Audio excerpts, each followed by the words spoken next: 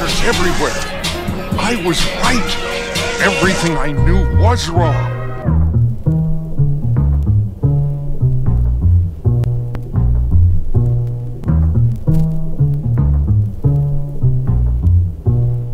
You see where they've gone? They're playing with the universe. They're playing with the solar system.